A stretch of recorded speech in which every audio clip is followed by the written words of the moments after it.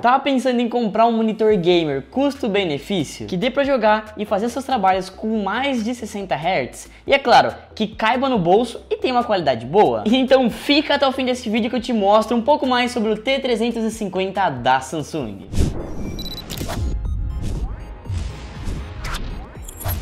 Salve gamers, Luquitas aqui e hoje eu tô com o monitor da Samsung que é um monitor custo-benefício hoje em dia. Para começo de conversa já é um monitor bem atual, com resolução de 1920 por 1080p ou o famoso Full HD. Proporção de 16 por 9, o que é meio padrão nos monitores, e esse modelo aqui é o de 22 polegadas. E olha, as bordas são bem fininhas, então é muito bom de usar, inclusive deixa a sensação de leveza, sabe? Não incomoda na hora de ficar olhando pro monitor por muito tempo. E como eu disse antes, é um monitor para você jogar e trabalhar. Isso porque ele já tem um AMD FreeSync FreeSync, para evitar aquelas quebras e distorção de imagem enquanto você joga. Tem também o Flicker Free e o Eye Saver, para quem fica bastante tempo na frente do PC. E para você que mexe com imagens ou usa para trabalhar, sabe que um dos principais motivos é a cor do monitor. Geralmente monitores com preço mais em conta tendem a ter aquelas telas com cores muito lavadas. Nesse caso aqui não, ele conta com uma tela IPS o que deixa a cor muito fiel e realmente muito forte. Na minha opinião, é um dos melhores painéis que tem para você que mexe com imagem. Se você joga, também é uma ótima opção.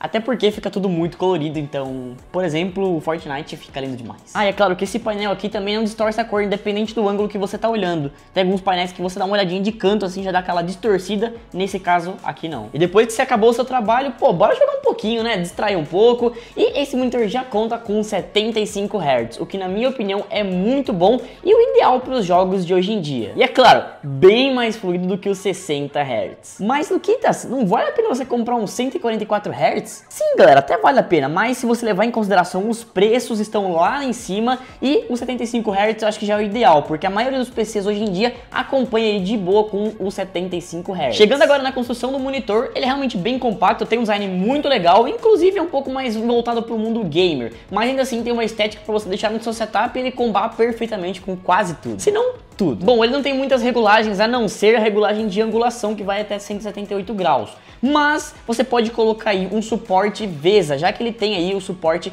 de 100%. Se você gosta de colocar o seu monitor para lá, para cá, virar de um lado para o outro, coloque esse braço aí articulado porque vai ajudar muito na mobilidade do seu monitor. Bom, aqui na parte das conexões a gente tem o HDMI e o VGA e também uma entrada de energia, já que ele tem uma fonte externa. Inclusive, a fonte externa e o HDMI já estão inclusos na caixa desse gabinete e já são os cabos que você precisa precisa para ele funcionar com 75 Hz sem nenhum problema. Infelizmente ele não tem nenhuma caixa de som embutida, nem um P3 para você colocar o seu headset ou uma caixinha de som externa. Então se você está pensando em colocar no console, pode ser um pequeno problema para você. Ah, e uma última coisa que eu gostei muito desse monitor aqui é que ele tem um menu de joystick. Então aqui atrás tem um joystickzinho e tem todas as configurações do menu, inclusive Game Mode que você pode mudar em vários modos. Sinceramente, isso é muito bom, até porque é diferente daqueles botõezinhos que são chatos de apertar. Aqui é um joystick muito e mais muito fácil de utilizar. Pontos negativos e pontos positivos. Vou começar pelos pontos negativos. Ele não tem muitas regulagens, o que para muita gente pode ser um incômodo, mas como eu disse, você colocando o braço já resolve isso. O outro ponto é que ele tem 5 ms do G2G, ou seja,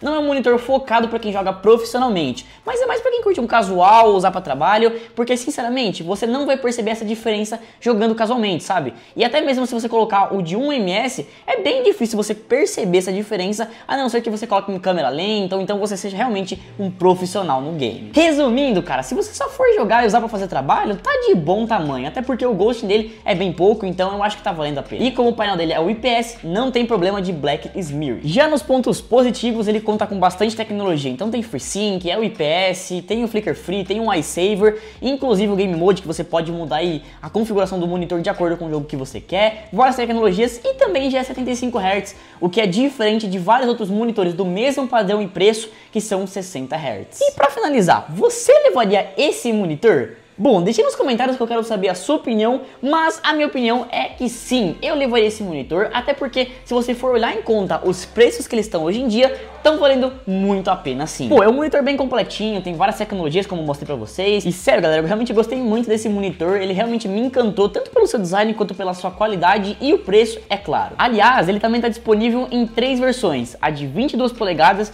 24 polegadas e 27 polegadas, sendo a única diferença entre elas o tamanho do painel. É isso, rapaziada. Espero que vocês tenham curtido. Vou ficando por aqui. Até a próxima e falou!